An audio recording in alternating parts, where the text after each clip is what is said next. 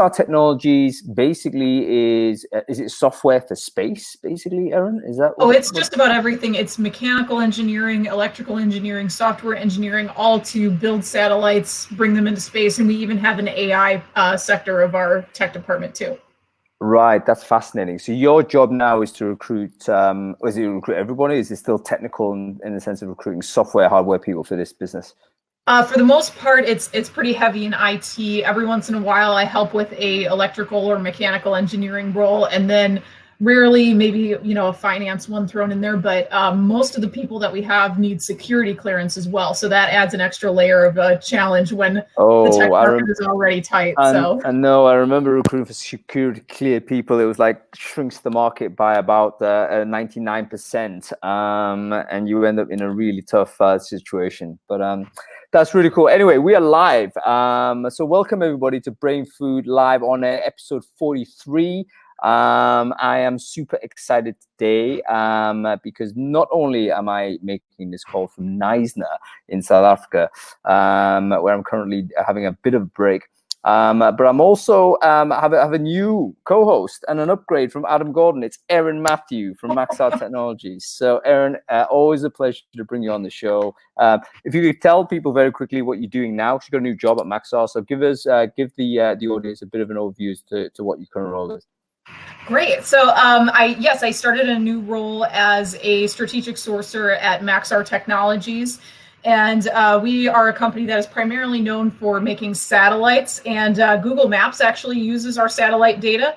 So I am primarily sourcing for roles uh, that are mostly IT, uh, but most of the people need security clearance. So that adds an extra layer of a challenge when it comes to finding the professionals that I'm looking for. We already know that the tech market is really uh, tight at this time. So add security clearance to that, and it's that much more narrow, and it makes messaging that much more important, which is exactly what we're talking about today. Indeed, and that's the topic of the show. Super excited and super relevant. So I need to bring in um, a big thank you for our sponsors this week. Sponsors for episode 43 is actually one of my favorite uh, platforms uh, in the business. Uh, they've been around the game for, for, much longer than a lot of recruiters have. It is Stack Overflow, and Stack Overflow talent is, of course, a must-have uh, tool, I think, for anybody who's recruiting for software. I'd be very surprised if you're if you're recruiting for software at volume, software skills at volume, that you have not heard of Stack Overflow talent um, and have not used it. You should certainly check it out. I've just shared the link in there. If that's a mystery to you, shame on you. Um, uh, but please do uh, check out that business and thank uh, thank you Stack Overflow for supporting this podcast. Okay, so moving on to uh, before we move on to the meat of the show, we always start off with a quick review of recruiting brain food um, newsletter I send out every Sunday. Um, everyone's, uh, by the way, watching this, uh, more than welcome to sign up to that newsletter. Um, quick one for you, Erin. Did you read it? And if so, what was interesting for you from last week? Oh, I for sure read it, and there were a whole lot of thoughts that I had on several of those items. But the one that stuck out to me the most was the article from prison to Python. And that was written wow. by uh, Shaw Wallace Stevens, who spent 18 years in the San Quentin prison. And during his time there, he actually had access to learn Python programming. And I guess my thoughts about this had a whole wide range of ways to go from this. And uh, my thoughts were that what a great way to give people that are incarcerated a better chance at giving back to society after they've paid their debt and you know served their time.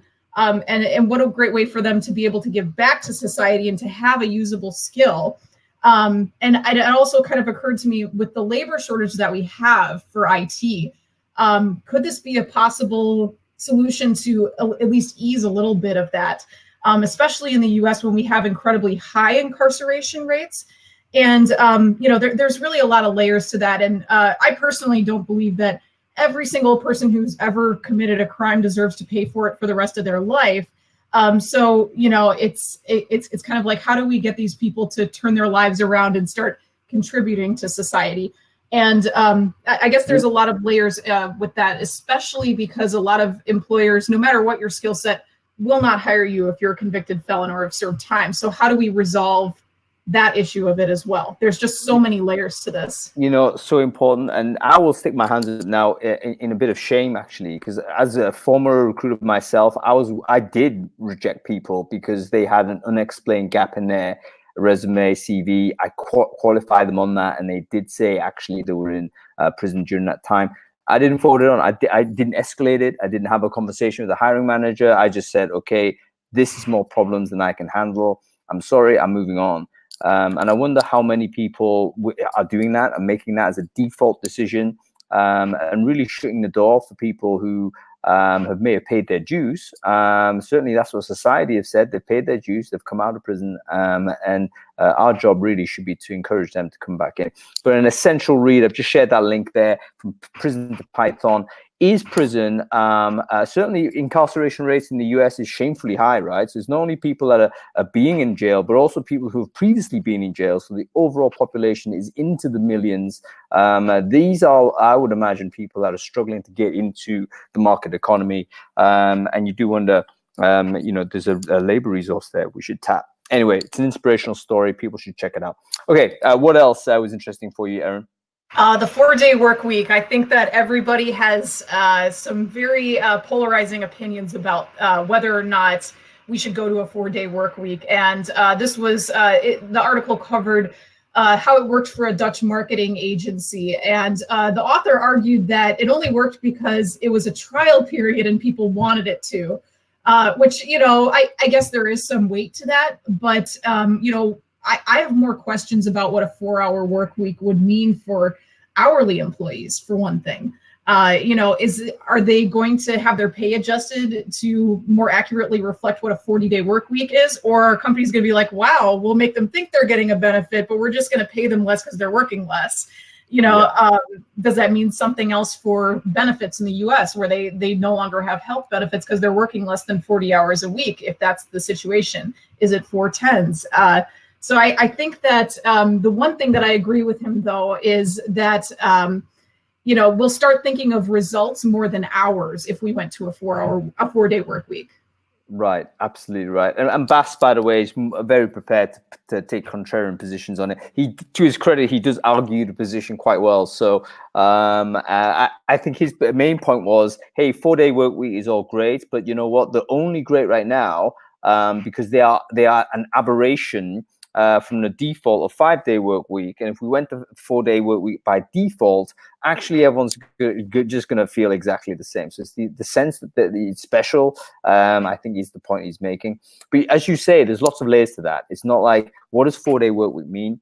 Um, will employers kind of not adhere to the spirit of it? You know, will they try and shave stuff off, as you say, know, you know 10 hours a day instead of uh, uh, your average eight? So we'll see. Um, but you know what? I think it is a movement that's happening, definitely in the UK. Um, we're recognizing that there's no point in, in putting people through through this period of time um, when a lot of the time we're not productive in the office.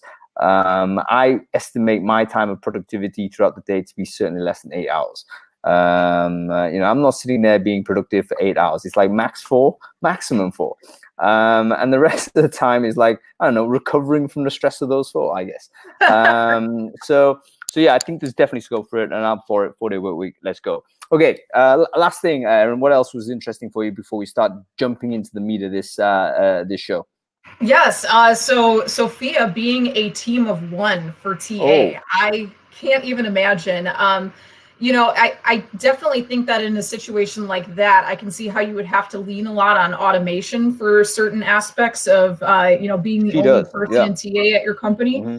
Um, but aside from that, I would get lonely. I mean, I, I kind of feel like within our own TA departments, we can commiserate about certain things that are, you know, stressful for us. Like when when hiring managers want a unicorn candidate and we've given them five and they just want to, you know, see three more of them. You know, there's just certain things that you can commiserate with, you know, with with certain uh, employees that have shared experiences. And I remember at my last job when I was the only sourcer, and that alone was kind of isolating because the mindset of a sourcer is just a little bit different from a recruiter where we love nerding out to all of these hacks and then i would try to share them with recruiters and they would kind of glaze over i guess glaze so over. it's it, it can be uh, tough being a team of one in any situation. So hats off to her for tackling that, and I'm interested to see how the rest of that goes uh, in her time you, you, know what? I think Sophia is really good at this, and she she seems to be like, and I don't mean she's not a team player or anything, but her last two couple of opportunities seem to be she's op- operating as like a multi-handed one-person machine de- dealing with everything. And I've I've listened to a few of Sophia's talks, and she does talk about automation a lot um, she she does find a way to do all of the you know the legwork and get these machines to help her, particularly using things like Zapier and IFTTT to kind of automate processes, um, push a lot of the work to the candidate side. If when you know to, to give them agency, it also means they do work, um, scheduling appointments and stuff like that, and also of course invoking support from hiring managers um, to to take on some of that workload. But you are right. I think sometimes it can be a lonely place uh, as a recruiter. You know, everyone's doing stand-ups. You're set, you're sitting down. you know, I, I remember yeah. that very keenly. You know, all these developers doing stand-ups, and now I'm sitting there thinking, where's where's my stand-up? Um, but anyway, I've just shared a list of like the big list of online recruiter communities. I think one of the reasons why these things have started to emerge is because of the profound loneliness that does exist in the recruiter job, particularly if you're a solo recruiter in a growing business, which probably is still the most common type of recruiter out there. Um, and then we've uh, the good thing is I think the last five six years or so we've seen an, an, emergence of all of these online communities, typically based on geography. So you can join one of those groups uh, and you can share some of the war stories and you know the support and stuff. So big list is there. Go and check that out and sign up to it. Sign up to any of those uh, uh, communities that will let you in. Uh, okay. Um, let's get on to the, the meat of the show, um, Erin. We are talking about um, how to message software developers. There's 520 people registered for this show, which is a record for Brainfood Live. I got 170 people live right now. Um, and that's not even counting the 200 or so watching on Facebook. So lots of people interested in the topic. Um, why do you think that this is such a popular and a topic for recruiters? I said I, uh, sort of shared something on LinkedIn that went completely viral. So obviously touching a nerve. Why do you think messaging is now the problem? um, because there's so many recruiters that are still set in the mindset of volume versus quality and i think that that's not always necessarily their fault either uh, a lot of you know whether it's hiring managers or uh, you know agencies having specific quotas that you have to reach out to this many people i, I think that quality is inev- inevitably going to suffer in that respect and then you know, IT can be difficult to understand if you don't personally do it yourself. So I think that's a craft effective messaging. You don't you don't have to know how to program, but you have to understand what each of the languages and frameworks do.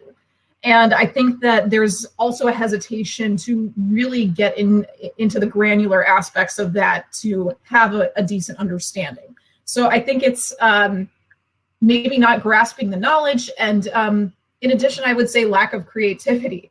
Um, yep. You know, I I hate to say it, but a lot of people have fallen into recruiting simply because they didn't know what else to do. And if they've made it their career, they may not know how to get out of it. So they stay in the same roles, pushing the same messages with, you know, kind of forgetting why they liked recruiting in the first place. Right. And, so, so um, it's a very good point. I'm going to just lead with this one, Erin. So what you're saying is actually because recruitment is not a desired role. Let's say, let's face it. You know, very few people actually actively choose to do the work we do. Right. I've, I've um, met one in my lifetime. Was that was that me? Because I'm I'm one. I'm, I'm I, I could be the other one. Um. So yeah, it's rare, right? You fall into it. So maybe because we do fall into it, um, uh, we we we kind of uh, succumb more easily um, uh, to you know the cranking the machine. You just get on with hitting the numbers and, and, and then move on. So it's, it's maybe uh, we got to look a little bit about the, the, the, types of people we recruit at the very beginning of the of, of, of the career, um, and not just have this you know just get this raw meat into the uh, the engine and see who survives at the end. So point number one is that. Um, Second point you mentioned is the lack of fluency in terms of their technical knowledge. That's a common complaint from software engineers, by the way. And if there's any engineers that are kind of watching this, please do comment on this to see whether this is true. Um, Erin, I seem to have lost your video there, but I hope you're still there with us. I'm still here. Um, Can you hear me? That's okay. I think it'll, it'll come back. Um, but basically, um, lack of fluency on, on the tech side that's going to take time, isn't it? It's going to take time for the, for for recruiters to get to the point where they're fluent enough uh, in the language to to do the job. Um, so, so what would you suggest to recruiters on in that basis? You know, they still have to hire. Um, are you saying they should not message people, um, or should there be some sort of, you know, uh, uh, uh, what is the what is the training program to get people up to the point uh, where they're fluent enough to have that conversation? Um, I really think that it just takes a little bit of homework on your point. Uh, you know, I at, at, one time when I was very new to recruiting front end developers, I, I kind of had a hard time grasping the concepts. And then what I actually did was I started taking some of the free preview uh, seminars offered by General Assembly. And yep, yep, um, yep. after a two hour course in HTML, CSS, and JavaScript, just covering the basics of all those and having some hands on coding experience myself, everything else made so much more sense to me. So, you know, I'm not like a master programmer or anything like that, but I know enough to understand what I'm seeing on the screen when I'm looking, you know, behind the source code of a page. So there's just so many free resources out there. You know, if I if I'm, you know, waiting for something, I I'll I'll pull up a video on Udemy or something like that and and say like, "Oh, I want to know a little bit more about the basics of this programming language since this is what I'm recruiting for right now." I, I just think that in an age when there is so much free content out there, there's no excuse not to seek that yeah. out. Yeah, yeah, great point. So I'm just sharing a few of these links there. A lot of these coding boot camps and coding schools, which are there designed to generate sort of coders, I guess, they offer, often offer entry level stuff for free.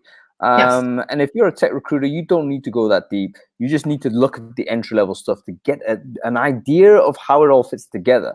Um, and that's certainly going to be enough to do the job uh, that you need. So, um, so we can uh, kind of solve a little bit, bit of this by being um, kind of getting into the mindset that you don't have to sit there waiting for training, which is never going to come, by the way, because we know no. that recruiters uh, massively underfunded in terms of personal development. Just go out there and actually think like a coder, or at least someone who's maybe getting into coding for the first time and learn the basics, which you can do in a couple of hours um, on Udemy, um, you know, General Assembly, lots of other different uh, uh, tools like that as, as sort of uh, stuff like that. YouTube, in fact, could be uh, yes. uh, is, is is literally go on YouTube. There'll be dudes on there or women on there producing little tutorials. It'll teach you a little bit more than what you need. So.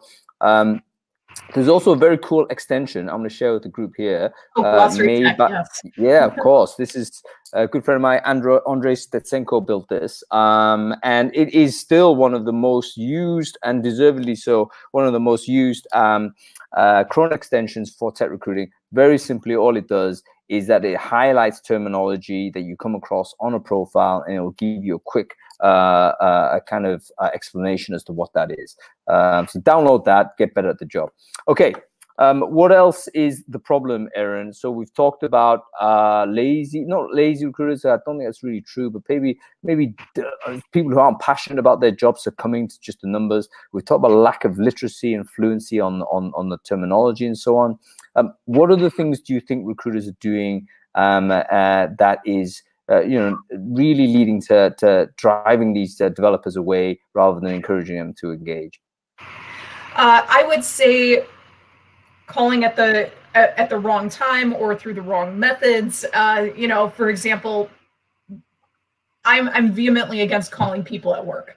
You know, you never know what kind of situation they're in with their current role, and you know if they get an unexpected call from a recruiter and their manager finds out about that, you could have just created a really uncomfortable situation for them at their job. So um, I think that in some situations persistence is good, but there's a definitely there needs to be a line, uh, and you need to recognize that these software is, developers are getting absolutely. The, is the phone, is the phone call dead, Erin, for, for this segment? I mean, would you say you cannot call software developers? Uh, I personally prefer if I'm going to use anything by phone, it's going to be text first. You know, I think that a lot of times, uh, especially with robocalls, people aren't going to answer anyways if they don't recognize your number. So um, I, I, we actually use a texting app where I work uh, so that you know they can actually unsubscribe from it if they really don't want to hear from us. What's the uh, texting app? Let's plug the uh, tool. We use uh, TextUs. Text Us. Okay, I know them. Uh, text.us, isn't it? Is the, the yes. thing? Yeah, yeah, cool. So how, does this work? You buy a volume of text or something, um, and then you can you can do it off the off, off desktop, uh, sort of a desktop or something like that, isn't it? Yes, yes. You can text from a hmm. desktop, and then they'll give you numbers for the area codes where you're actually recruiting in. Cool, cool, cool. I think the US is well ahead of everyone else in using text, uh, SMS. Um, I think the Europe, I, I, don't know. I mean, I've never oh, used it. Oh, yeah, um, we made the wrong URL there for that. It's text us. Thank you, Michael. Uh, is, is, that wrong? Okay, well done, yeah. whoever. Michael Vroman. Yep, awesome. Yeah, he's my coworker, so he he's watching. Great. I need the help of the community to sort my crap out. So thank you very much uh, for correcting that mistake. Um, okay, I think the US is very, very good at text um, in the sense that fluent with it, people respond with it. They're very, uh, I think, probably more used of text in terms of personal usage than perhaps people in Europe are. Um, I, am not sure whether we should we should definitely learn more from having this uh, type of soft touch, low, uh, sort of zero synchronicity type of communication. I think the problem with calls is that it demands synchronicity from the person receiving it. Mm-hmm. You know, Absolutely. and that person might not be able to deal with it right there and then. Um, they are busy doing. Very few people I know are sitting there waiting for the phone to ring. Um, they're already staring at something and focusing on something. I guarantee you. Um, so a phone call is always an interrupt. Um, and if you're a highly skilled, in-demand person, the last thing you need is yet another interrupt. So, channel choice important. Text first, call us after you've after you've arranged uh, a time and a place for that to happen. Um, okay, cool. Uh, what else, Erin? Um, what else do you think we're starting to rack up these things that recruiters are doing that you shouldn't do, and also providing solutions, which is fantastic. Um, but what else would you say that recruiters are currently doing that they should not? Huh. Um, not sending creative messaging. Uh, you know, I kind of want to go back to the lack of creativity part. I I think that the reason that I've had a moderate amount of success actually engaging with software engineers, even if they're not interested, is because I, I have several guidelines that I always have when reaching out to developers. I'm concise. So I like to tell everyone think in tweets. You know, we we don't have an attention span for a, a book of, you know, information that you're going to send in messaging. Uh, I'm as detailed as possible in that short outreach as possible. I'm going to tell you where is this located, what's the job title, who does it report to, and um, anything that's you know necessary to pique their interest right away. And most importantly, be entertaining. Uh, I like to say that um, I'm probably going to get a no but at the very least, I'd like to leave them with a positive impression of me as a recruiter. So, something that I did at my time when I was working at FTD, I created comedy sketches about certain developer roles that I was recruiting for at the time. So, I would send those uh, to the uh, developers and say, you know what? Um, I'd love to talk to you about this role, but even if you're not interested, I made this video for you and I promise you'll at least find it entertaining. Oh, tell what is it? Comedy sketch? Uh, what, what are we talking about a drawing or are you doing some oh, it's, or something? It's, it's terrible. Oh, it's comedy sketch. So like, you know, uh, like a, a, little comedy routine, like on Saturday Night Live or something like that. Right. Uh, and you would record yourself doing this. Is that right? Yes. And, and then I forced wow. all my coworkers to act in them. Um, I think they're glad That's I'm amazing. gone for that reason. Um, but uh, yes, um, I can actually uh, put the link to one of my videos on YouTube into the chat here.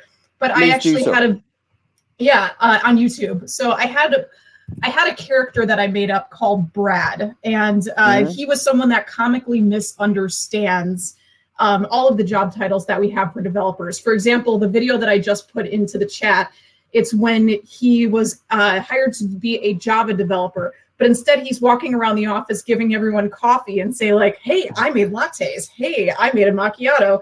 And then it ends with him in the boss's office, and they're like, "Well, how's your first day going, Brad?" And he's like, "Great. I'm developing a lot of great Java."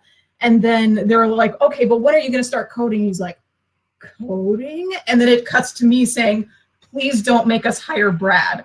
Let's chat." You know what? That's amazing. And you know, I do want to click on this video and watch it. Um, but I'm, i wonder what's going to happen with my screen if I do it. So I'm definitely going to watch it uh, uh, uh, a little bit later. I think that's really great creativity. Um, and sometimes you're right. You've got a differentiation. I think most people would agree is an important part of getting any kind of engagement, particularly with people who are getting a lot of volume coming at them.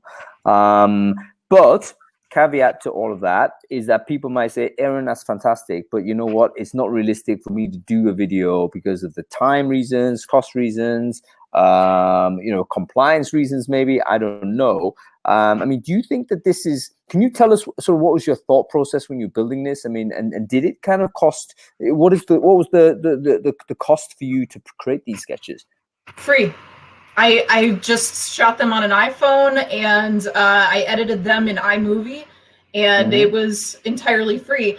Um, the challenge was convincing my coworkers to actually act in the videos with me. Um, you know, Wait, it's how did you do that? So um, I I kind of um, I would give them actually a storyboard of what I had in, in, in, mind for. And, you know, I, I called a meeting with the recruiting team saying like, okay, which part are you comfortable taking?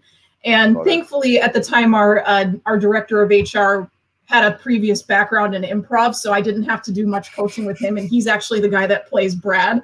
So um, I got lucky in that aspect. But, um, you know, I, I, I kind of got the idea because I had always wanted to go into sketch comedy, but instead I became a recruiter. So I was like, well, here's the perfect opportunity and we'll see what uh, happens. I see. I see. Perfect. So I tell you what, this is quite interesting because this is almost evidence that people from creative arts could be very good recruiters. And I do believe that's yes. true um, because there's an element of, of performance. There's also resilience. Like you've got to take a lot of, you know, you've got to be prepared for people to to to, to basically heckle you oh, and they, um, they do, but you know, yeah, you got to be tough. So I can see all of that, what where that's coming in. So maybe going back to our first point when we're talking about, um, you know, we need to be a little bit more intentional about the types of people we bring into the the industry. We should be looking at the stage. We should be looking at the creative arts because perhaps those are the people that can do these creative things, natively do these creative things uh, to help uh, to help do it.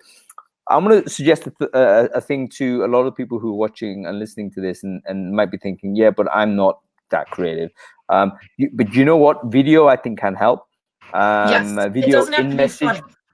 It doesn't have to be funny. a friend of mine called Mark Ljungberg. Um, I don't know whether you know him. Um, mm. he's oh, yes. he's a he, he's also a very experimental recruiter, and he he is like massively disciplined with the idea of sending video notes um, in his email um, so that people can basically uh, get a, a, kind of a feeling as to who he is. It's not just a, like words on text, but you can see Mark. He's addressing the candidate, and the candidate obviously is, is getting a personalized message. So he's doing two things there. He's humanizing himself, number one, and he's personalizing the message. Um, and that elevates him from all of the, that mass mailmerge stuff that's coming at you. I forget. I think he uh, he just uses Loom, uh, which is a screen um, capture app, free software again. So lots of cool stuff that you don't have to spend any money um, to to use. Um, and all he does is record 30 second videos, um, and those videos uh, are uh, outreach messaging uh, for the candidate. Um, oh, by the way, top tip for anybody who's using the video on screen technique apparently the best way to trigger a massive amount of response to your video is to get a pen and a paper and write the name of the person you're messaging uh-huh. and hold it in front of you as you're shooting the video. Um, and apparently, by doing that, um, uh, it will also carry the preview image in there as well. So basically, the person who's receiving it knows that you've created this video for him or her. Um, right. So that's top tip from personalization.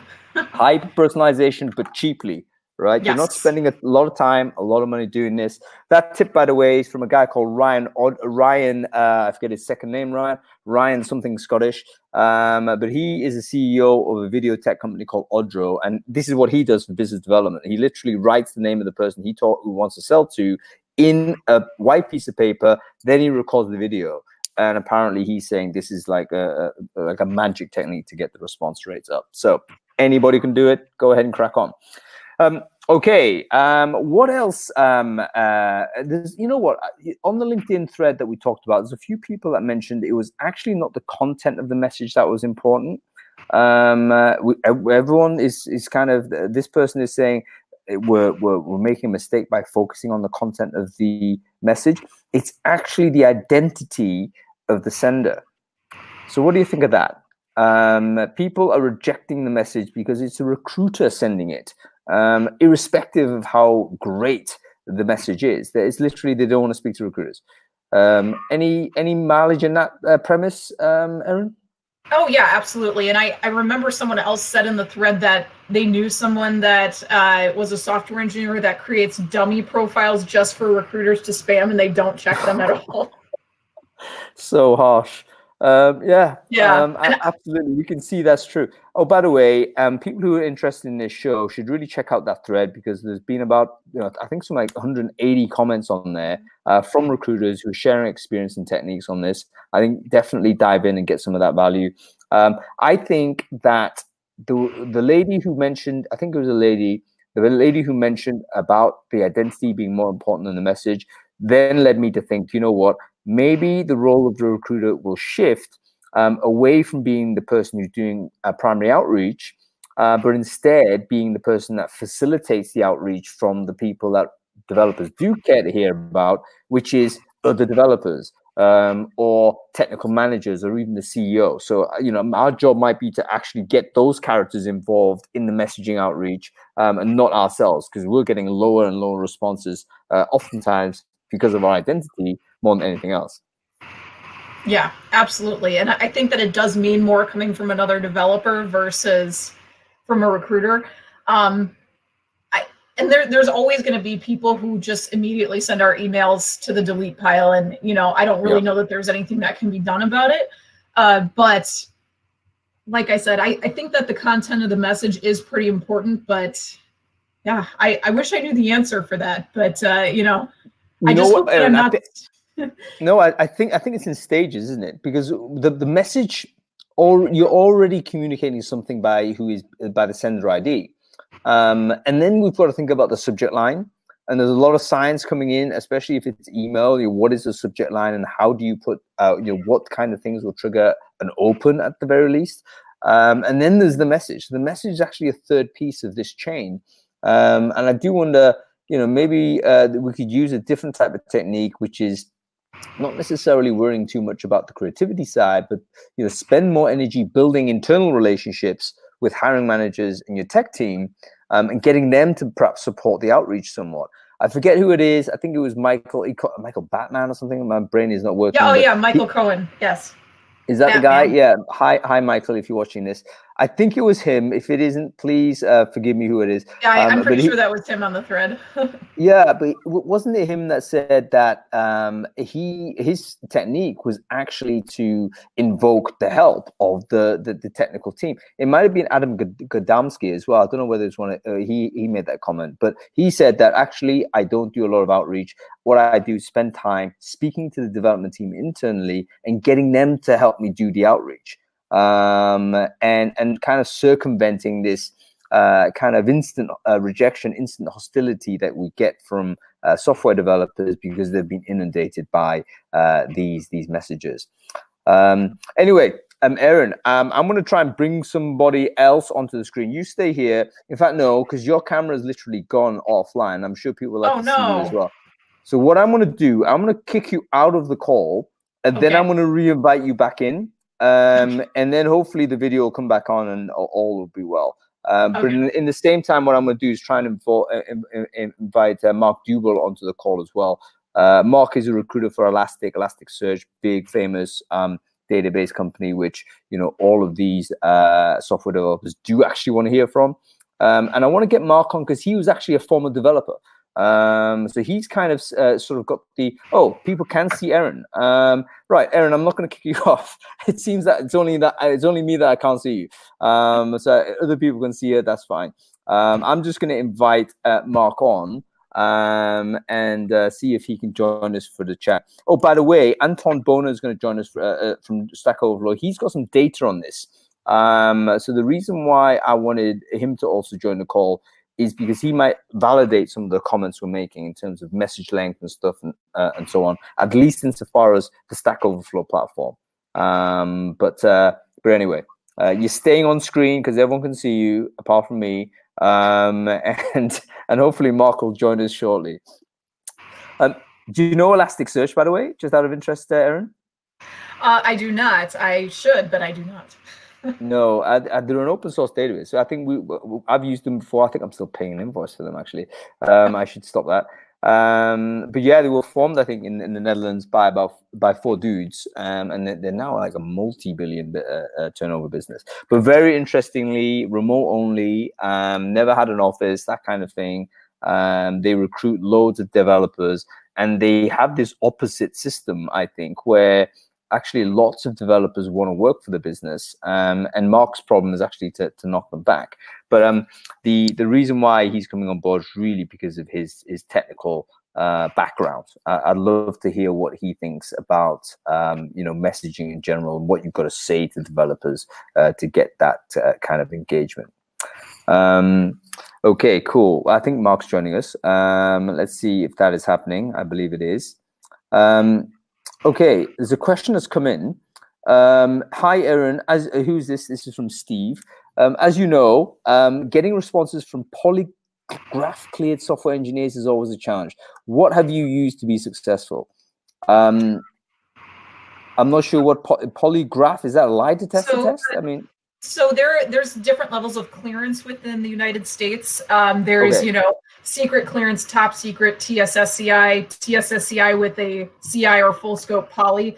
So um, people that have a poly clearance are very hard to find, and um, especially, you know, hard to get a response from too. Uh, because they're constantly being bombarded with messages. If you take the typical experienced uh, IT person and you add a clearance that high, multiply the difficulty by 10 to get that person to respond.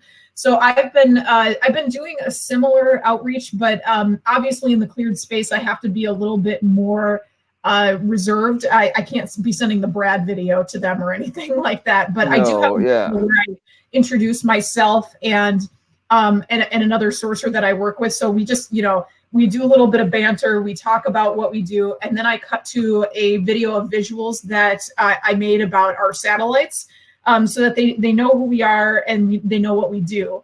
Uh, so that's essentially what i've been using and i've had a good amount of success getting response rates and what i think is most notable is that i get responses from people saying i'm not in the market for a job. I wasn't interested but because you took the time to make me a video i'll talk to you so that is the the number one thing that people say in the cleared space to me with that. Right. I think videos need to. We just need to do it. Um, yeah, and, I, I mean, not enough recruiters do. And even though you know we'll emphasize this in the call, I would say a very small percentage of people actually will. So I would yeah. never worry about video getting you know flooded in the market in terms of outreach because so few people do it now, and so few people I think will yeah, I, I think you're right. I mean, basically, video uh, is is non-intrusive. Um, it is something people can consume. I would say rather passively. Um, uh, you know, they can listen to it if they want. It's usually quite short. Um, so if you do all of those things, basically, I think people would do it. I tell you what, uh, the cognitive load in in processing information through video is also lower than reading text. Um, I think reading text is really quite a strain to the brain, which is why we don't tend to enjoy doing it, um, and why attention spans are going shorter and shorter. However, video we can listen to it, watch it, see people's faces, etc. Very easy to do. We just got to get on it. Um, so anyway, I think Mark's joined us. Uh, Mark, how are you doing? Um, I, can you hear me? I can hear you. I hope you can hear me as well. Yeah, great. Um, Mark, thanks for joining us. Very quickly to the audience who don't don't know you or the business, can you just quickly introduce yourself and what Elastic is? Of course. So um, first off, I'm not a developer, ex-developer, right? I'm more of a sysadmin, uh, sys engineer. Um, a little bit same thing, field. I can't code, just a little, the little Python. That's it. Uh, um, so I've been in engineering for about 22 years uh, before I switched to recruitment um, a few years ago. I first tried two agencies, wasn't really my style, so I went to uh, to Elastic. Um, Elastic is a search company, so basically we deliver everything around search, um, database, um, visualizations, logging, um, and security nowadays as well. So we're quite a complete platform uh, that you can use for basically everything. Um, if you use Tinder, if you used Uber, uh, basically you used us. That's amazing. It's, it's by the way, Elastic's got an amazing story, um, and uh, and yeah, it, it's uh, it's it's a classic example uh, archetypal example of, of, I think four mates basically who, who built this thing for, from the very beginning. So great story to, to, to hear. Anyway, Mark, you've heard Erin talk a lot, and myself and Erin discussed this issue about messaging software engineers. How do you do that, and, and what are the techniques? Um, hearing all of that, was there anything in particular that you agree with strongly, and anything that you disagree with? Uh, hearing our chat earlier. So, especially the personalizing stuff, um, that's the most important thing. Uh, I certainly agree with the title, the, the the fact that people see recruiter and they won't respond. Um, mm. You have to be creative in how to reach out. Um, if you st start a message with the standard heading of "Hey, I'm a recruiter," no way it's going to happen. Um, what I normally do is I introduce myself as a co-worker at Elastic. I introduce Elastic more than myself. Um, they will see technical recruiters somewhere down below anyways. But basically, I'm managing the hiring for, and that's not a lie. Um, it kind of leaves the recruiter part out of it, and the response rate is much higher. Um, I so don't send ex- jobs. Ex- ex- explain this to me. Um, so I'm trying to visualize this message, okay, Mark? Yeah. Um, so I'm a, I'm a developer. Let's say I've just received an outreach from you. What is the first thing you're saying to me? What's the first line in that message? The first line is, hey, I'm Mark When I work at Elastic, the creators of Elasticsearch, Logstash, and Beats. That's kind of what the intro is. I don't say my specific uh, role. Right, right. Just, so it's, yeah. Yeah. That's, that's a definite no. As soon as they read Recruiter, it's done. I did the same thing. When I was in engineering, I saw Recruiter and I was done. Interesting. Very interesting yeah. insight. So you kick down Recruiter all the way down lower into the into the yeah. process in fact, you may even change the language to say you're managing the hiring, something of that effect, which is actually correct. Um, yeah. But you lead with the company um, or you lead with the brand. I think, Erin, that's probably similar to what you were doing when you're talking about shooting videos of the satellites, right? You're talking about what the, the employer does um, as the main thing you talk about, or at least the intro or the hook, uh, rather than introducing the job or, in fact, uh, your identity uh, right up the, right at the beginning. I don't even provide a job description. I don't do that in the first okay. outreach. I don't. I just talk right. about the company. I talk about why I approach them. The the emphasis is on them. Why am I interested in you? What makes you better than the rest? You know what they call this you messaging, don't they? I don't know whether yeah. there's any like uh, one of these new wave writer coaches or, or, gurus watching this, but it's like either me messaging or you messaging. Um, in the sense that you locate the content of the copy in either yourself or, or, or, or, the person you're addressing. And of course, it's more compelling always to locate it in the person you're addressing. So, okay, so structure is you lead with, okay, I'm Elastic or working with Elastic. They do this, this, and this cool stuff. Then you go into uh, a, a, bit of detail about what this person is um, and, and yeah. I guess showing understanding about who what they do. Yeah, definitely. So you have to show them that you actually understand what they do. So simple things okay. like, hey, I saw you're amazing at React. Do you have experience in Redux as well? Simple things. If you, as a recruiter, understand the relationship between uh, between technologies, it opens them up because they have an idea that they under, that you understand them, right?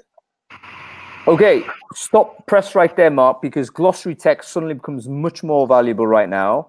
Um, because that's a quick and easy technique for recruiters to, to demonstrate their knowledge is to simply observe a technology that this person claims to have experience in, because presumably you've got a profile of some type.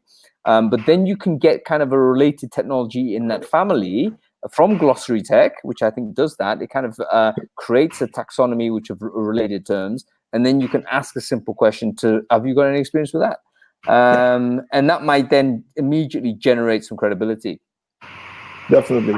And um, like I said, it's a you message. Um, I like to believe that give, give, give, give, and then ask. So it's give them a reason why am I talking to you.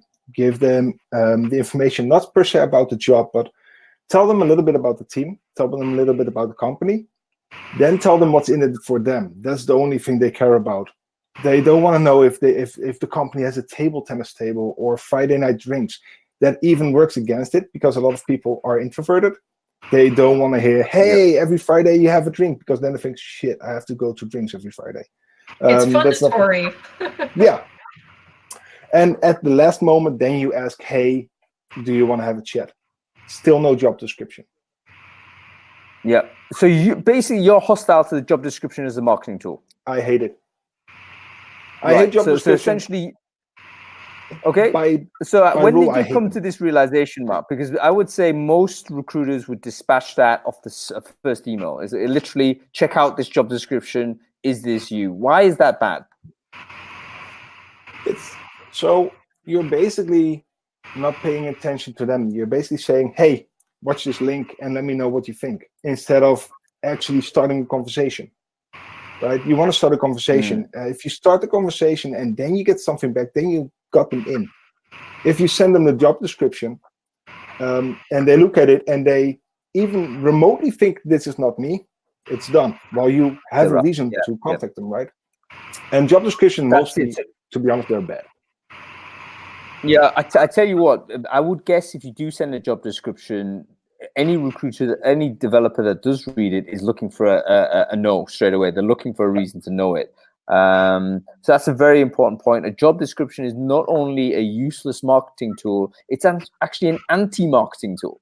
Um, it has negative, a deleterious effect to your response rate because I think you are firstly forcing the person to do a lot of work, right? You're forcing the person to actually consume this and then them to tell you uh, uh, they're suitable. Whereas you're meant to be, at some degree, an expert of suitability. So you're meant to say, look, I know you're, you've got potential, uh, great fit for this. I want you uh, in on this. Okay, great. Um, anything else to add to that, Mark, before I bring in um, our final? Uh, we're all going to stay on screen, by the way, but I'm keen to bring on Anton on as well because he's going to help share some data with us um, which should be very interesting for us to observe. Anything we haven't covered that you think is quite important when it Oh, comes definitely. to tech messaging tech candidates? don't ever ask Go for ahead. referrals. Don't ever ask for referrals. That's the most terrible thing. Even now, I still get them from recruiters, or even recruiters that still think that I'm in engineering.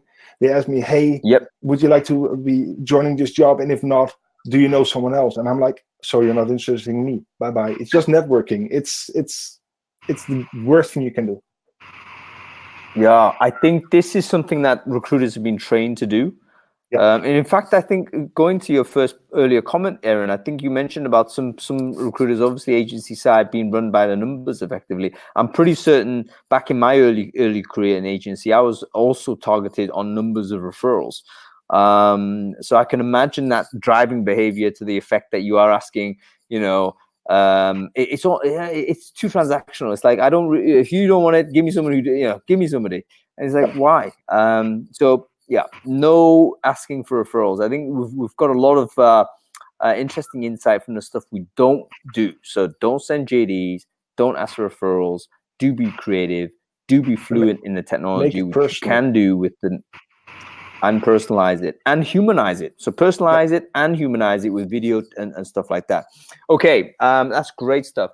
Um, anything else to add on that, uh, Mark? I'm going to see if I can find Anton. But if you've got any other ideas that you think might be relevant for the audience here, So I uh, actually, I you want to actually, share?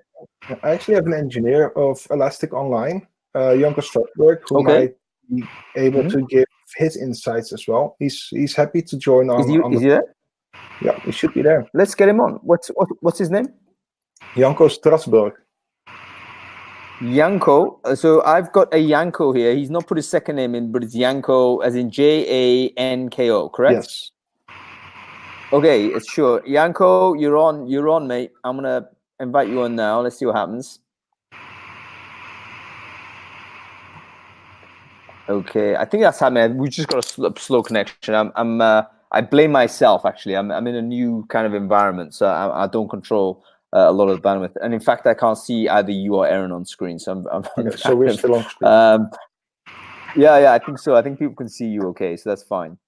Um, that's great stuff. You know what? A lot of the people who are still watching the show, um, I think Janko's here. Oh, there he is. he's online. Janko, how you doing, man? Good. Thanks for being Great. here. Thank, thank you very much for joining the show, uh, uh, and thanks for watching. I'd be really interested in your feedback on what you've heard so far. Um, I mean, what are your impressions on the, the, the conversations that Erin and, and myself and Mark have, have shared so far? Yeah, it's it's very true, and you you really see as as a candidate, as a potential candidate, the difference that they basically put into their first messages, how the how the whole talks go, and yeah, we agreed in the chats also on, on lots of things that yeah, it can be too much, and it's more get people interested and see what yeah if they're interested, if they're not interested, and don't send just random messages out to people that doesn't fit their profile at all. So I get a lot of junior positions still sent to just because of my language skills or whatever. And it's like mm-hmm. you didn't even read anything, you know. So it's it's very obvious no. sometimes. You know what, Janko? That was that's something that Erin and I and Mark actually we haven't actually surfaced that, but inappropriate jobs um, is super annoying for anybody. Never mind mm-hmm. um, technical people, but it demonstrates a, a level of ignorance. Uh, and secondly, if you're getting introduced or suggested for a job that you left behind five, six years ago, it, it's kind of a, a, an insult. You, you, know, it's kind of like, what do you think? I've not developed further than this. Hey, I've got a question for all of you. Actually, I think that a lot of these messages are as a result of improvements, quote unquote improvements, but improvements on CRM technology. So, in other words, um, they are not necessarily sent. Uh, obviously, they're not sent personally. They're literally someone searched a database they've done a segmentation and they've just pressed go and it's gone to 150 people. Um, it has um, to, because even I get messages as you know, being in talent acquisition from other recruiters, and even we don't like those. You know, we, we don't like you know non-personalized outreach. You know, way way back in my career, my first job out of college was selling cars. Do you think I want a sales job now? No. oh, and and, and, then, and you know what? So what do we do about this then? Go on, Mark. Go ahead. And the second thing is that um, a lot of recruiters just use a simple Boolean string. I get approached for hydraulics uh, roles, for engineering roles in in uh, gas turbines. Yeah, I did that about 20 years ago. Then I switched to IT, but it still shows up in your profile. So they do a lazy uh, search. And Janko can probably attend, well, hang on, hang on. I'm, I'm, I'm, totally defending lazy recruiters here because I do think this is a I, I think it's a database problem, guys. Um, no, because the person doing the search, yeah, no, man. It, I tell you what it is. It could be, but it's still a search problem, right? In other words, the search parameters they're putting in are not sufficient enough to figure out the uh, the timeline uh, of when these skills were most used. And I think that's basically because the data in the profile isn't there. It doesn't describe it. Um, so we haven't found a way to to to uh, kind of put a weighting um, on these skills. Um, and pro- if it appears in the search, then I'm sure it just gets banged out. So I think an increased sophistication of this might help. Um, but you know what? A friend of mine, actually not a friend of mine, I'm speaking like Donald Trump now, aren't I? Uh, everyone's a friend. Uh, no, um, there, there, was a, you know, that's what he does, isn't he? Um, yeah, a good friend of mine. No, uh, there was someone on, there was someone on the string, on, on the, the LinkedIn string that said, um, when he was first trained into IT, so he was a recruiter from his exec search. He got moved into IT, and he was given clear instructions to use the recruiter, LinkedIn Recruiter, his whiz bang new tool to basically do what uh, we were talking about, which is do a quick search, get 150 uh, candidates. You obviously can't read or, or see every one of those, and just crank out a big mailer.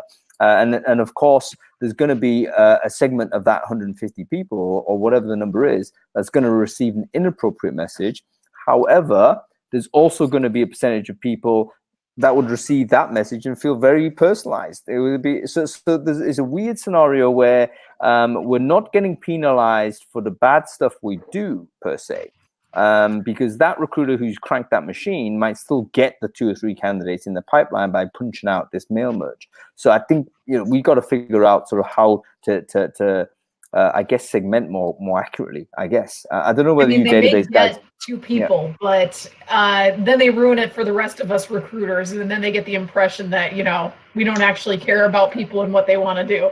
So that I hate to true, say it, Erin, but, the people on. that do it ruin it for the rest of us. Yeah, that that is true, but also there's no reason for them to care, right? Um, because for, for for the recruitment industry in general, or uh, uh, recruiters that are not me uh, having a bad rep doesn't really hurt me. So I think we have we have a problem in terms of the distribution of responsibility and accountability for bad bad behavior.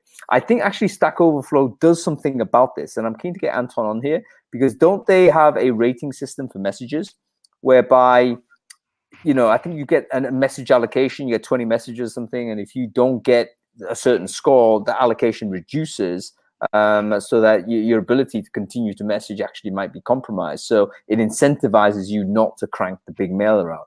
And I think they've never actually implemented uh, a mail merge facility on their platform because of this entire. It may be something you can never solve. Anyway, I'm going to try and bring Anton on the call. Actually, before I do that, Janko, uh, I don't want to let you go too early. Is there anything else that you could advise recruiters to do? I mean, coming from a person that's receiving a lot of these messages, what's the one thing hmm. you you would recommend a recruiter do? Because I think there's a lot of well-meaning people out there that simply are, are making uh, mistakes out of out, out of a lack of knowledge. Yeah. So basically, out of all of these, uh, I don't know, hundreds of yeah recruiting offers or whatever I, I received or messages, uh, only I think two stood out. So they were making really um, the point of looking at my CV and saying, "Oh, you went through this, you did that, so this kind of skills they would be really well to apply here." And funnily enough, one of them was from a female headhunter, and the other one was from the recruiter at Elastic that uh, got me in, completely cold okay. recruited. I didn't even apply; they just found me via LinkedIn. They said, "Oh, wow, I see you have this background. I see you did that. You're working in this kind of area. So we are looking for these kind of skills, and you might mm-hmm. not have exactly our technology, but you can learn that because well, we saw you already moved around. So something like it's obvious if something is targeted towards you, like you said earlier, with uh, handing, uh, holding up the paper with the name of the candidate or whatever in the video, yeah, these kind yeah. of things. So you notice when something is with a bit of more work done and not just like send out to everybody like a spam, basically. Yeah, yeah. I tell I tell you another thing, Janko. You might have introduced an idea we haven't shared yet, um, uh, but it's about sort of the um, it, it, could be the, we, there's a there's a different type of demographic where the big mail mail merger might work, um, but there's a demographic where it doesn't work. So we we might need to vary these techniques. And I just wonder whether some of the recruiters that um, that we're talking about in terms of bad actors here may may simply be applying um, practices that might work for I don't know retail workers, let's say, um, and, thinking that or uh, thinking that's how you would recruit contractors. I would imagine, you know, if you're working in a fast-paced interim type of uh, uh, basis, you might actually send a lot of messages out uh, on checking on availability, um, and that habit might translate um, badly into the permanent world of work. So it's a very interesting point. Um, anyway, Janko, I'm going to let you go. And the only reason why I'm doing that is because I think I can only have five people, four people on the screen any one time. Um, so thank you very much for joining us and sharing your knowledge uh, with us, Janko. I'd be keen actually maybe to get you back for another show because there's another thing that I need to talk about, which is mm-hmm. happening next week.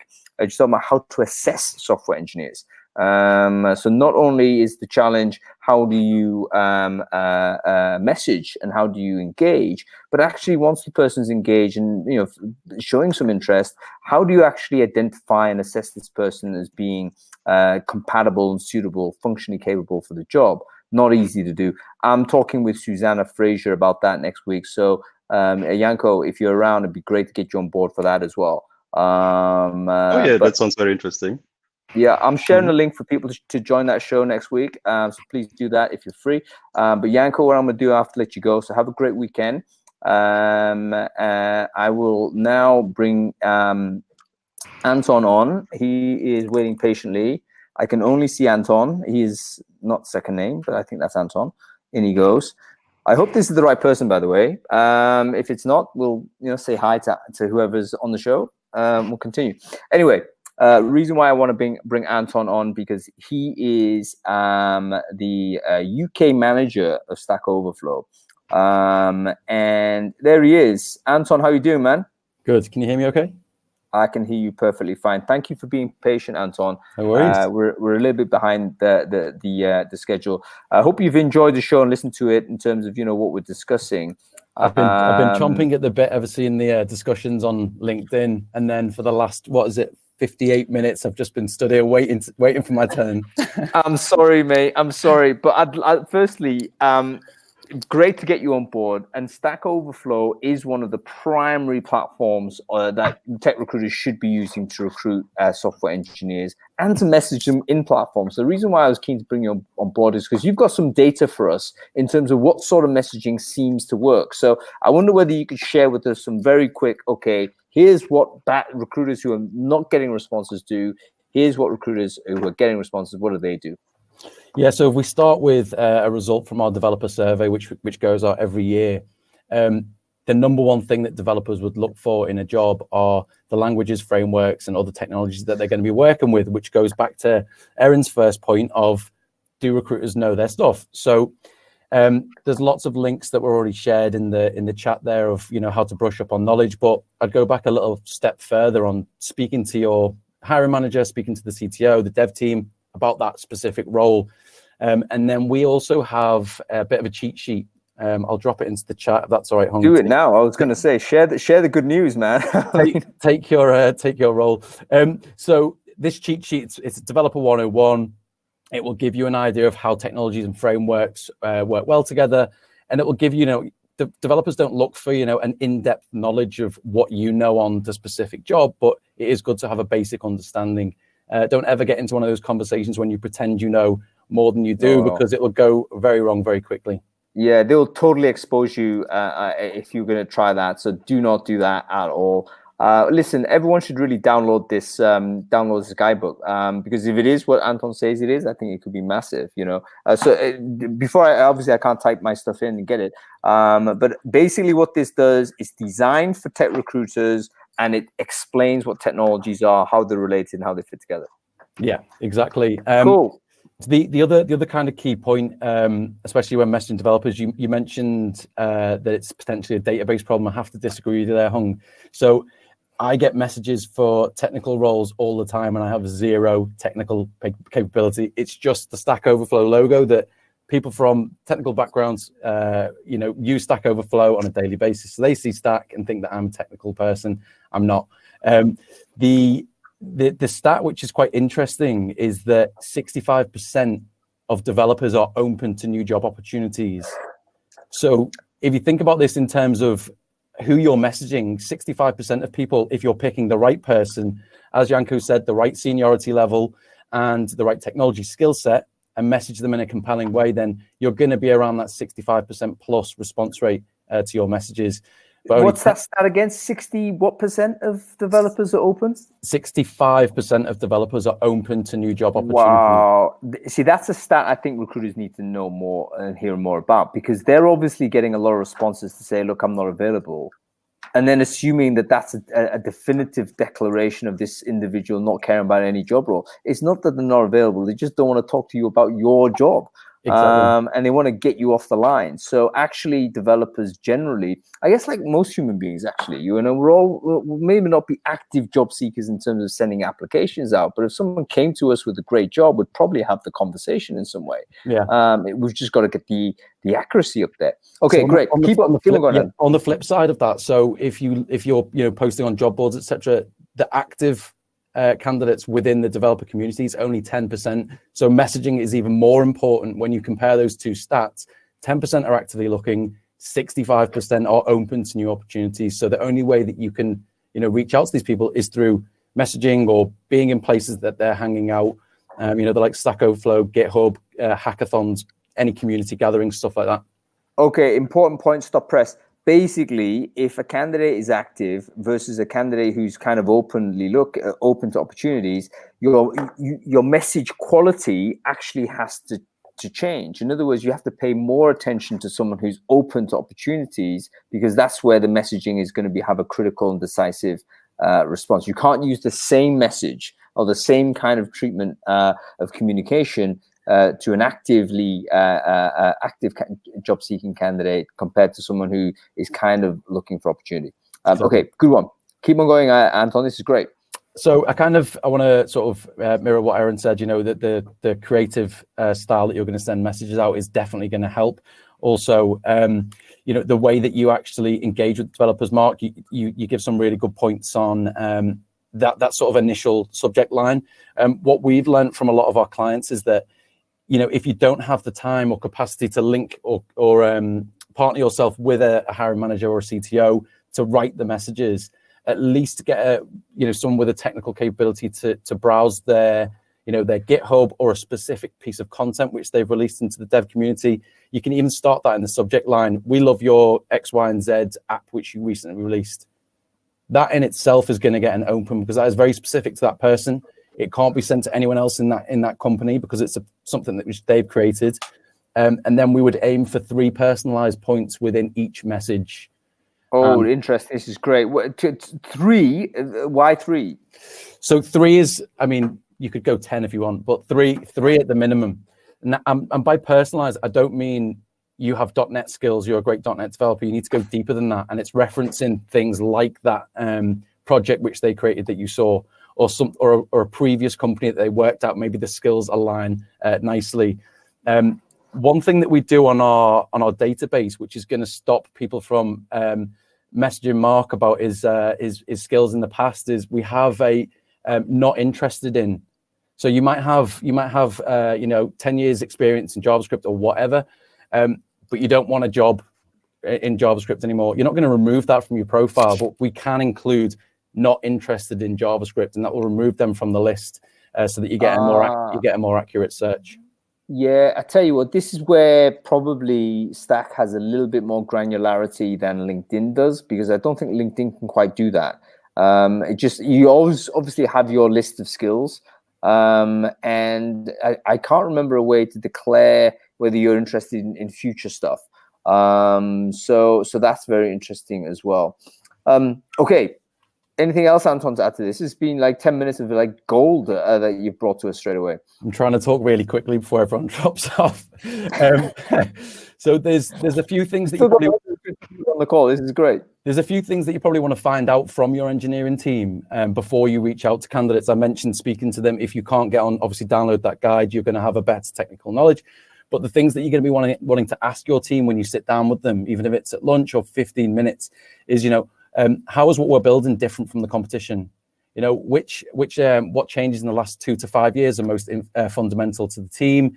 Um, what things are on the roadmap are the team excited about? Um, and what ways what ways does our company solve problems differently from the competition? Um, again, this is uh, a guide which I can pop into the into the chat, which has a lot more detail than I can go through today. Okay, you know what? All of those questions that developers want answered, um, Sorry, Mark, go ahead.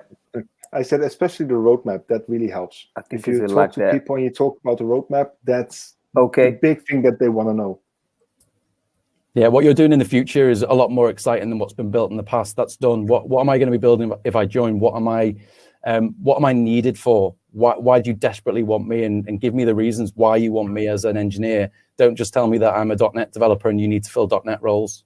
Yeah, yeah, absolutely. I tell you something as well for everyone who's uh, watching and listening to this. If you haven't caught on already, but the the, the questions that developers want answered, um, they could be brilliant questions. In fact, they're necessary questions for you to take to your hiring manager and say, "You need to answer these questions, Mr. Hiring Manager or Mrs. Hiring Manager, because without this, I can't sell this job opportunity." This is what the developer community is actually looking for, um, and I think we'll end up getting much richer information uh, from the hiring managers than than you know just accepting a a, a JD. Uh, you know, I mean, um, the, the quickest thing and dirtiest thing they'll do is ping something over and say, "Here's your brief."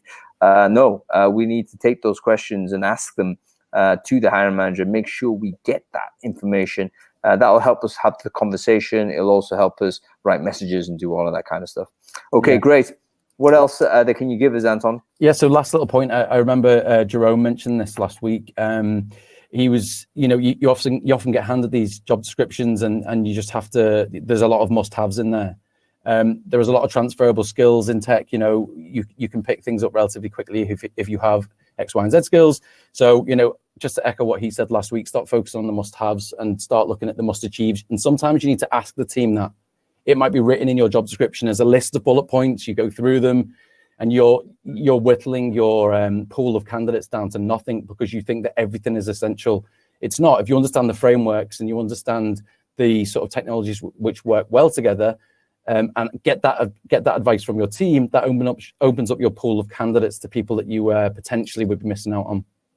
You know, that's a really good point, Anton, because it could be that they sort of they, meaning hiring managers, send us a, a, what looks like a list of requirements, but it, we we if we don't investigate um, you know what the relationship between those bullet points are, we might be over we might be uh, uh, assuming uh, that they're absolutely essential when in fact they're not.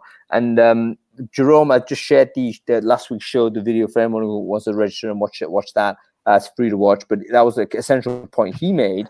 Uh, was that it's a mindset shift from must have to must achieve. So in other words, future fo- from historical focus to future focus. What is it that this person needs to achieve to be declared a success in the job? Um, and that's what you start building your search around. Um, and in fact, that's what you build your messaging around. um, because you know this is going to be much more compelling thing to talk to someone about rather than interrogating them about you know whether they have this or that skill. Uh, you can then together have a future focus on you know the project work that they'll be doing okay anton listen i'm burning a lot of your time here so i just want to give uh, one more thing that you can give us before we let you go I know that you mentioned our database, so maybe maybe a little plug at the end. So we don't we don't obviously allow any uh, mass mail mergers or anything like that. Uh, this kind, of, I mean, this kind of echoes almost what everybody in the uh, LinkedIn channel has been saying. What everyone in here said today, it would go against everything that we would ever try and advise our clients on. Um, so yeah, if, if, you're interested, feel free to reach out to me. All right, Anton, I'm going to ask you a tough question. Actually, you might not like this, but I'm going to ask it anyway. Um, you've got two products, don't you? Um, Stack Overflow Talent. I've just shared that there. Um, now I understand that your you one of your products is, is, the advertising products, so you can you can go and post jobs there. I believe is that right? Um, and the other one is the search, but you actually it's a package, isn't it? Um, if I if I go back and buy Stack Overflow Talent, do I get both of those things? Uh, and I must take both of those things. Is that correct? Yeah. So if you see Stack Overflow as a, a community of developers, and I mentioned being in the places that they hang out, mm-hmm. if, if, you haven't heard of Stack Four, every developer is hanging out on our site, you know, asking each other coding mm-hmm. questions. So we start off with direct advertising. So we follow them around on the site with um, roles which are specific to them, as granular mm-hmm. as seniority and technology skill set. Um, you can mm-hmm. also message the developers, and we can also send your brand out there to the community so that you can actually the second highest uh, second highest result to our must-haves for technical roles that developers look for is um, is actually the the culture and the office working environment, so that you can show that off within the company pages which we push out. Yeah, fantastic, Anton. Listen, you've come on, you've come onto the show and just like fired bullets at us for the last 10 minutes. That's absolutely amazing. Thank you very much for sharing that. And indeed, sharing the ebook, I would absolutely recommend people download that. Uh, it sounds like it's something that if you're a tech recruiter, you need to have in your locker. Um, okay, um, Erin, final thing before I let you go. Uh, what's the one bit of recommendation you would give to uh, a recruiter, tech recruiter struggling uh, right now in terms of messaging? What would you say that they need to do to, to, to, to, to as a takeaway from, from this session here? actually take what we have expressed here and put it into play. You know, a lot of people will sit on webinars and be like, oh, that's a great idea, and then never do it. There's just so much to be said for actually doing it. Doing and, and it. Will, you'll mm. still set yourself apart from the crowd. Yeah, fantastic. Um, Mark, final word from you. Uh, what's the one sort of takeaway uh, you would impart to the audience that's been listening to the show?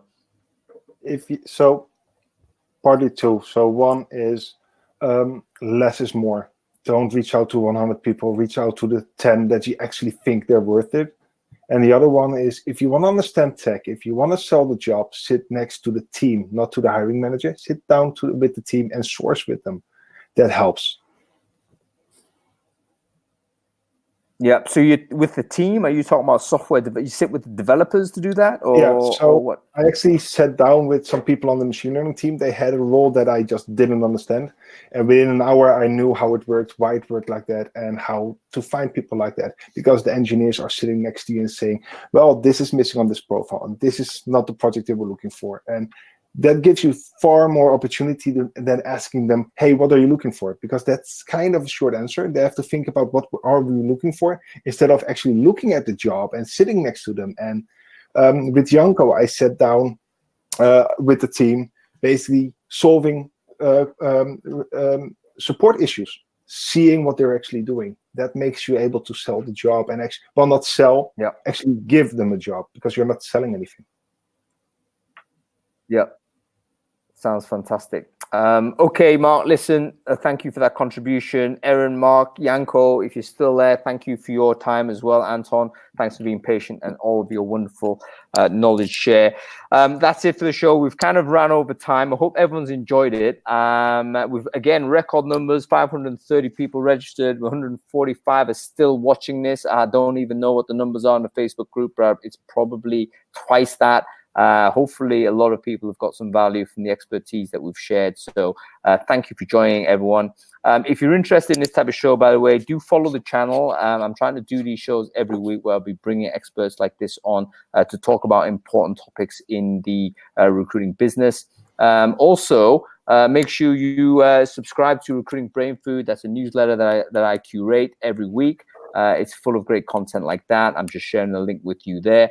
Um, and we'll be back next week. Next week, we're going to be talking about how to assess software engineers. Um, so this is not about finding, not about engaging. You've got your person. How do you know that person is the right fit? How do you know they can do the job?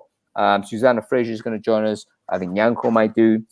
I've got a friend, Andrew Lawson, engineering manager at Monzo, who's going to join us as well. Uh, so we're going to get tech heavy again. How do you look at a tech profile? How do you talk to a developer? How do you kind of figure out they can do the job that they say they can? Okay, that's it. Have a good weekend, everybody. Cheers.